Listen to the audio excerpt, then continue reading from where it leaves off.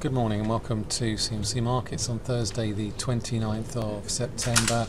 And this quick look at the markets in the wake of last night's agreement by OPEC members to cut production to 32.5 million barrels a day.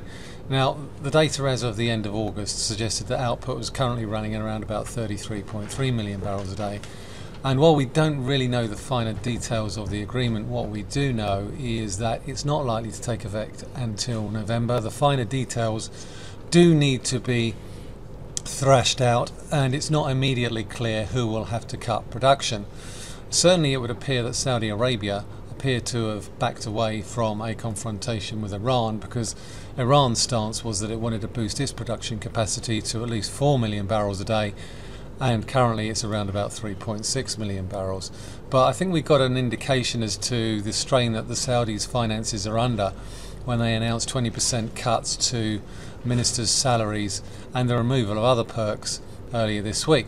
So what's it done to the oil price? Well, we can see straight away here that ultimately, even though we've seen a very decent rally yesterday in the wake of this candle here, we're still um, below this trend line resistance from the June highs.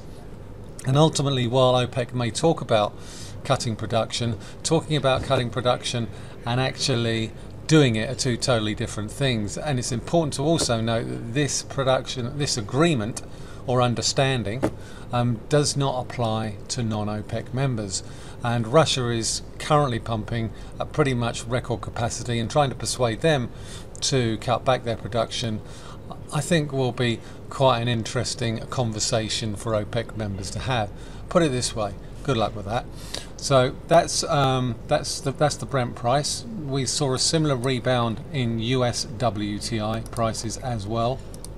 And what is quite interesting to note here is also we've managed to respect that trend line resistance from the peaks that we saw in June. So while we've seen an initial rally, it would appear from my initial analysis of the situation is what we've got is an exercise in jawboning. Ultimately, I think it's going to be very, very difficult for OPEC members to persuade certain members to cut production while at the same time allowing other members to keep production unchanged. So I think the devil is in the detail. We'll see how it all pans out. So how is this going to affect equity markets this morning? Well, the FTSE 100 is back above 6,900 and could well open above that when we open for trading at 8 o'clock today.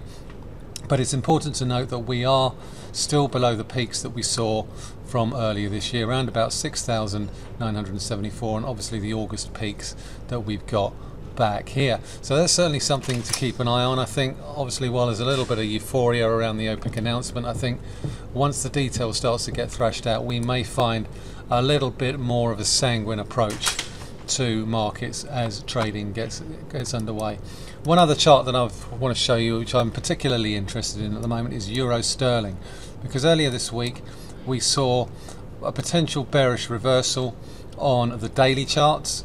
At the moment, we're finding a little bit of support just below 86, but ultimately, this looks like a bearish reversal. We could well have seen the top in Euro Sterling, and as long as we stay below this this series of double peaks here, then I think there's potential for us to drift back down to the lower end of this recent range. Certainly the oscillator is now starting to turn over, which does appear to suggest that potentially we could start to drift lower.